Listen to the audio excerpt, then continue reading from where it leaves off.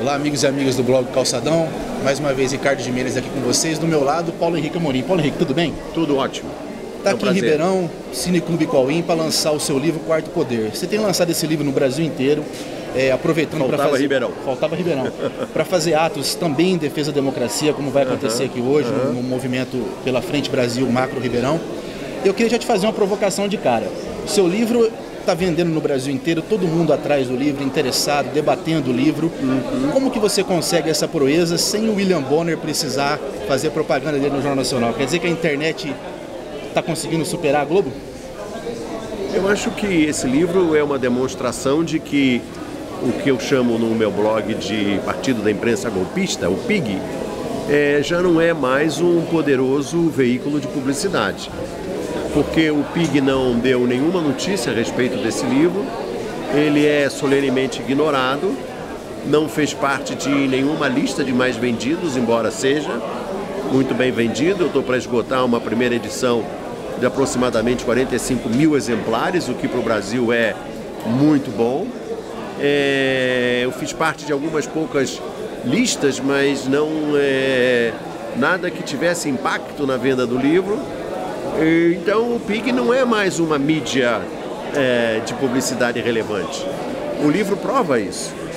E eu não vejo nenhuma surpresa, porque de fato é, o PIG não faria nenhuma publicidade, não daria nenhuma mídia espontânea a um livro que trata é, do papel do PIG na, no golpe, no histórico golpe das elites contra o povo, Sim. e tem como um dos seus personagens principais exatamente o Roberto Marinho. Nós completamos um ano e meio de blog. No nosso aniversário de um ano, o seu livro serviu de base para os debates que nós fizemos aqui, com quase 200 pessoas. O mais interessante, contar a história da Rede Globo, que a gente chama no blog o Calçadão, da emissora que foi criada na ditadura e engordou na democracia com dinheiro público. Também é verdade. A história da Fiesp, que é, apoiou o golpe com malas de dinheiro. Exato. E agora esses dois personagens novamente envolvidos no processo a, a de golpe. A Fiesp é, é suspeita, e o meu livro trata disso, é, de ter depositado os dólares nas malas que foram levadas para o general Amaury Cruel, que era comandante do segundo exército aqui em São Paulo, traiu o Jango em 64. E agora esses dois personagens... E agora tem a suspeita de que a, a, o banco Itaú, uh, da família Setúbal, financiou a campanha uh, fraudulenta da reeleição do Fernando Henrique Cardoso. E esse povo todo agora, junto com o, Cunha, que parece que ser o dono da Câmara dos Deputados e até com, com no Senado também, esse povo vai conseguir dar um golpe de novo na democracia, Paulo Henrique? Eu acho é, muito pouco provável que esse golpe, é, se se efetivar, o que é provável que aconteça, que ele é, se é, estabeleça.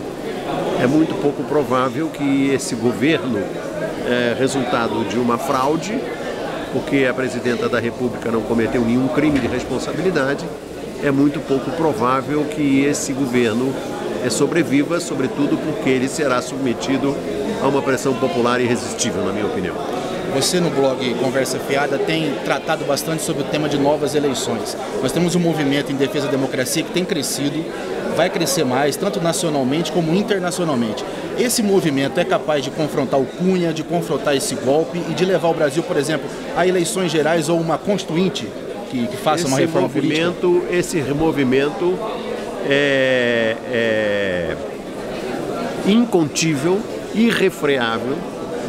Esse movimento vai levar a eleições. Eu não sei se essas eleições serão gerais ou serão apenas limitadas à eleição de presidente da República para completar o mandato da presidenta Dilma. Agora, não haverá meio, não haverá possibilidade de o sistema político brasileiro resistir à pressão que virá das ruas, dos, dos movimentos organizados, dos partidos de esquerda, dos sindicatos e, sobretudo, da internet para promover uma eleição que corrija esse golpe que está sendo perpetrado o governo ilegítimo da dupla Temer-Cunha com José Serra no Ministério da Educação não pode dar certo, né? Não, não, pior, ele vai ser ministro da Fazenda. Hoje, aquela notória colunista do, da Folha, é a Mônica Bergamo, publica uma entrevista do Fernando Henrique Cardoso, dizendo que ele apoia a ida do Serra é, para ministro da Fazenda do, do, do Temer. O que é muito interessante, porque o Fernando Henrique jamais deixou o Serra chegar perto do Ministério da Fazenda. O Fernando Henrique me disse, está aqui no livro, o Serra acabou. O Serra perdeu o rumo, me disse o Fernando Henrique em 1994. O rumo do Serra é o poder absoluto. O Serra é candidato a ditador e o Fernando Henrique não deixou ele ser ministro da Fazenda, porque se ele fosse ministro da Fazenda, ele ia querer governar o Brasil. E o Fernando Henrique. Agora, para o Temer, pode ser. Para o Temer, o Fernando Henrique empurra o Serra. Vai desestabilizar logo, né? Cai logo esse governo elegido, é... bota o Serra lá.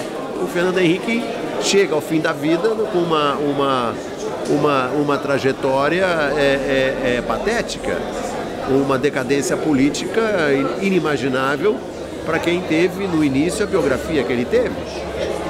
Um social-democrata que se torna no fim da vida um golpistazinho de, de republiqueta de banana. Bom, o Blog Calçadão agradece a você, espero Muito obrigado. excelente palestra, que esse livro faça cada vez mais sucesso e que a gente consiga barrar esse golpe, Paulo Henrique. Muito obrigado. Muito obrigado, foi um prazer.